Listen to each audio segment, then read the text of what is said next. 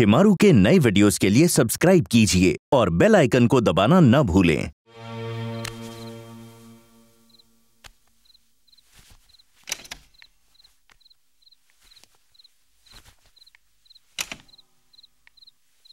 आपको मेरी वजह से काफ़ी बेजती सहनी पड़ रही है ना?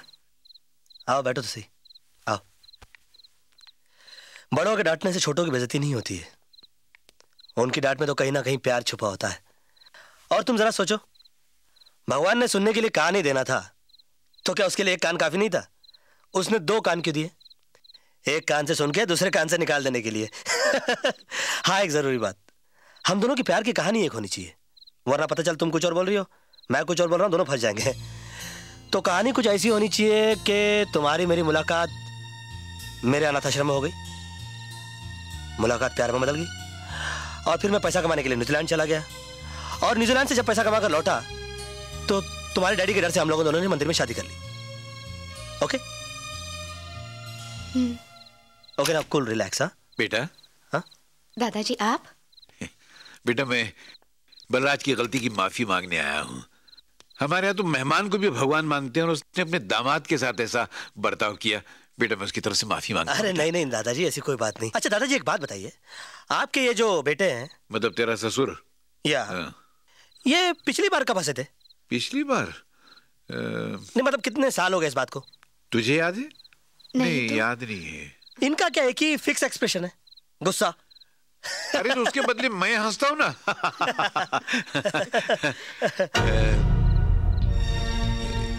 ये हाँ? दो बिस्तर अलग क्यों? वो दरअसल क्या है ना दादाजी कि जब मैं बिस्तर पर सोता हूँ तो मेरी पीठ में दर्द हो जाता है। और जब ये ज़मीन पे सोती है तो इसकी पीठ में दर्द हो जाता है। इसलिए मैं ज़मीन पे सोता हूँ और ये बिस्तर पर सोती है। झूठ बोल रहा है ना? हाँ? हैं? मुझसे झूठ बोल रहा है? दोनों में झगड़ा हो गया ना? वो भी इसके बाप की वजह से? अरे कैसा ससुर है? कि अपनी बेटी और दामाद के बीच में झगड़ा लगाता है उसको मैं नहीं छोड़ूँगा। उसको आज ठीक करके अरे नहीं, नहीं, दादाजी, ऐसा तू, मत- देख तू आज मैं उसको समझाऊँगा कि वो मेरा बाप नहीं मैं उसका बाप हूँ। देख तू आज आज मैं क्या करता हूँ दादाजी। बलराज कहा है तू? जी कहिए। वो बोलिए ना क्या बात है? मैं तुझे गुड नाइट कहना भूल गया था। गुड नाइट हैं? माँ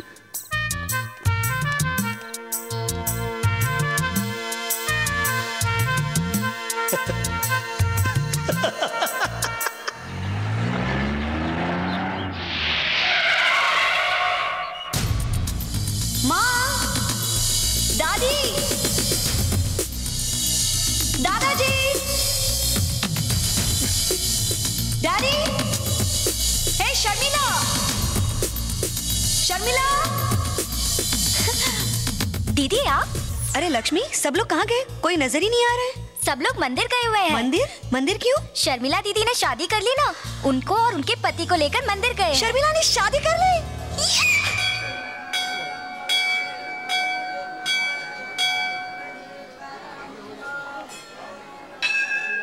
ये हमारे पुरखों का बनाया हुआ मंदिर है। जब भी हमारे यहाँ शादी होती है वर वधु को यही दर्शन करने ले आते हैं। नमस्कार नमस्ते। ये शर्मिला के पति राजू। अच्छा। पूजा शुरू करवाऊं? जी बिल्कुल। ये चलिए। आइए। आइए। ओ दुनिया हाँ, उधर नहीं इधर। गलत जा रहा था।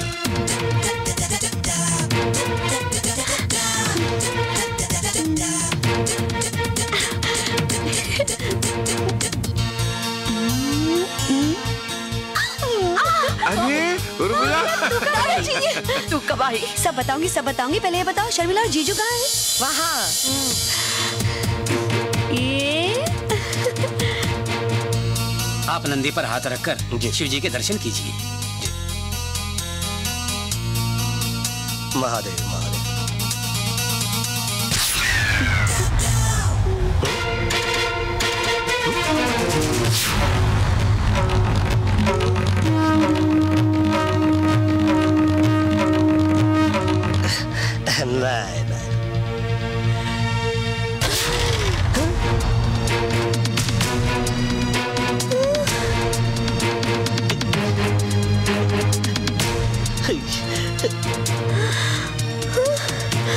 भगवान के दर्शन हुए? जी नहीं। देवी के दर्शन हुए। देवी के? राजू बेटा ये शर्मिला की छोटी बहन है उर्मिला। और ये राजू शर्मिला का पति यानी तेरा जीजा।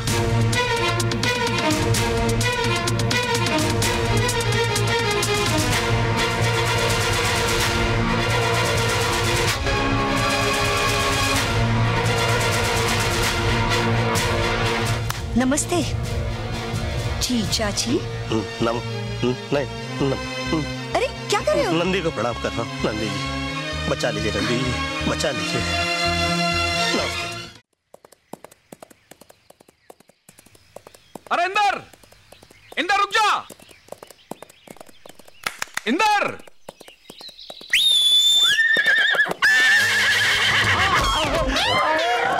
ओ डैड उठ उठ उठ अरे अरे उठ उठ उठ उठ बेटे उठ उठ डैड गिरा दिया ना आपने। अबे गधे मैंने नहीं घोड़े ने गिराया तुम्हें। डैड आपको मालूम है ना उस घोड़े की आदत है कि सीटी की आवाज़ सुनते ही जो उस बैठा होता है वो उसे गिरा देता है फिर भी आपने सीटी ठीक है ठीक है। वो बलराज है ना बलराज? उसकी छोटी बेटी उर्मिला न्यूजीलैंड से वापस आ गई है। तो मैं क्या करूँ डैड? अबे गधे तेरी शादी शर्मिला के साथ नहीं हुई तो क्या हुआ? कम से कम उर्मिला के साथ तो हो सकती है। नहीं डैड मेरी शादी शर्मिला से तय हुई थी लेकिन उसकी शादी कहीं और हो गई। मैं उस खानदान में शादी नहीं करूँगा दिस इज़ फाइनल अबे कभी तो अकल का इस्तेमाल किया कर। अरे मैं शर्मिला उर्मिला से मतलब ही क्या है? हमें मतलब है बलराज की दौलत से समझा? हाँ, जल्दी से तैयार हो जा। मैं बलराज से तेरे और उर्मिला की शादी की बात करता हूँ चल। Dad you are really smart Shut up! भाई आ, जरा एक कप चाय लेके आना जरा। जी अच्छा। उर्मिला ये क्या है? हाँ तुम मुझसे बात क्यों नहीं करती? आपको मुझसे क्या बात करनी है जीजा जी? अरे आई एम नॉट योर जीजा यार मैं तुम्हारा जीजा नहीं हूँ आई एम नॉट जीजा बहन के पति को जीजा जी कहेंगे ना जीजा जी। अरे भाई जीजा साली में क्या बातें हो रही है? ओ, आपको भी अभी आना था। क्या मतलब? नहीं मैं उसको पर्सनल बात कर रहा था ना मैं। अच्छा। नहीं मैं उससे पूछ रहा था कि तुम न्यूजीलैंड गई थी तुमको कोई लड़का उड़का दिखाया तो मुझे बताओ वरना ऐसा नहीं हो कहीं मेरी तरह प्रॉब्लम में आ जाओगी। वो जा रही है एक मिनट में समझाता हूँ भाग जाएगी वरना। वो क्यों मेरे पीछे पड़े हो राजू? जबकि मुझे तुमसे कोई बात नहीं करनी। है उर्मिला उर्मिला उर्मिला। चलिए नाश्ता कर लीजिए। हाँ जाइए नाश्ता कर लीजिए जी नहीं मुझे भूख नहीं है। मैं जानती हूँ इतने ताने सुनने के बाद कैसे भूख लग सकती है। तुम हर बात को इतना सीरियसली क्यों ले लेती हो? तुम्हें ऐसा देख कर तुम्हारे डैडी भी चिड़े हुए रहते हैं। तुम मुस्कुराओगी तो कम से कम उनको ऐसा लगेगा मेरी बेटी तो खुश है। जाओ जाकर नाश्ता करो। तुम नाश्ता करोगी तो मुझे ऐसा लगेगा मैंने खाना खा लिया। ओके? ओ नो ये जहरीला स्प्रे कहाँ लेके जा रही हो? No Urmila no no Urmila देखो, नहीं नहीं. Urmila Urmila Urmila Urmila oh my God Urmila Urmila पूरा घर इकट्ठा हो जाएगा. उर्मिला तुम्हारा खड़ूस बाप आ जाएगा. अरे प्लीज़ प्लीज़ उर्मिला उर्मिला उर्मिला उर्मिला दरवाज़ा खोलो. उर्मिला दरवाज़ा खोलो. तुम्हें मेरी जान की कसम अपनी जान मत देना. एंड लिसन अगर मेरी बात सुने बगैर तुमने कुछ कर लिया ना तो मैं अपने आप को ज़िंदगी भर माफ़ नहीं कर पाऊँगा। मत करो। उर्मिला ऐसा मत कर। Urmila hello okay okay okay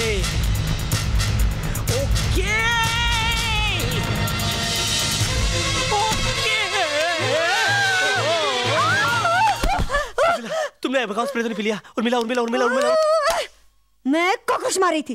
तुम्हारे जैसे आदमी के लिए मैं अपनी जान दे दूँगी। तो फिर जीजा जी बोल के मेरी जान क्यों ले रही हो? क्या हुआ? क्या हुआ डैडी वो जीजा जी फिसल गए जो इंसान दो कदम नहीं चल सकता मेरी बेटी ने उसके साथ ज़िंदगी भर चलने का फैसला किया है। स्प्रे मार दूँगा मच्छर।